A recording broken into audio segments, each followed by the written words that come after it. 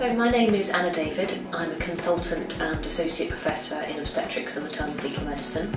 Um, I work at UCLH and I practice obstetrics and fetal medicine there and I spend about 40% of my time looking after patients and then the rest of my time, which is about 60%, I just do experimental medicine. So I'm developing new therapies.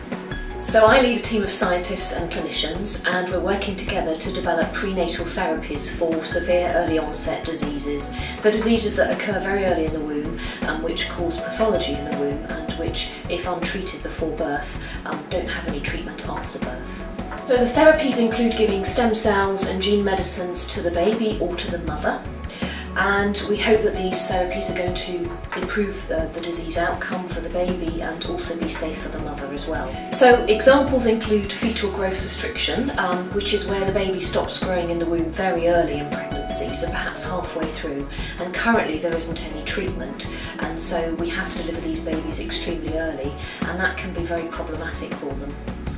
We're also developing uh, treatments for common inherited uh, diseases like thalassemia. So these are diseases that affect a high proportion of people around the world and currently there isn't any treatment. So fetal growth restriction affects about 1 in 10 of all pregnancies worldwide and the common underlying problem is that there's a reduced blood supply to the womb. So this is the circulation that's going from the mother in the uterine arteries to the placenta. And the problem is the baby doesn't get enough oxygen and nutrients going across the placenta and so it doesn't grow properly. And currently there's no treatment. Babies such as Abigail shown here uh, need to be born extremely early because basically they stop growing in the womb and if we didn't deliver them then they would die in the womb. We found that giving maternal uterine growth factor therapy to the mother's uterine arteries increases the blood flow to the womb and that basically in preclinical models has been found to improve growth of the baby during pregnancy and this is the first time that anybody's ever found a way to increase the blood supply to the womb and have the desired effect of improving growth of the baby in the womb. So one of the major things is, is this therapy safe? And we have found that it to be extremely safe in all the tests that we've done so far. So I lead the EVERREST Consortium. This is uh, a European Union Framework Programme 7 uh, six-year programme grant. And basically, during that time, we're hoping to take the therapy to the clinic. So as part of the consortium, we have four academic clinical health science centres from around the EU, including a group in Sweden, in Germany, uh, in Spain, and also UCL in London.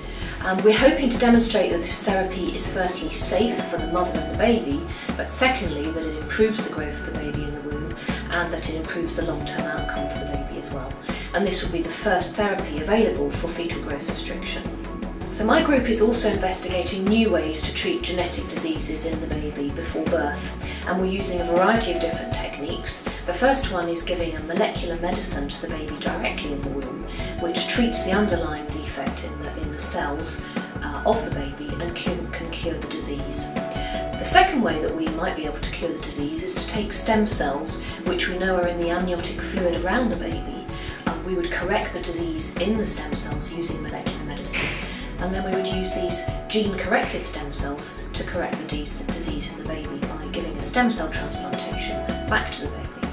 And we're working on this to try to treat diseases like thalassemia and some liver disorders.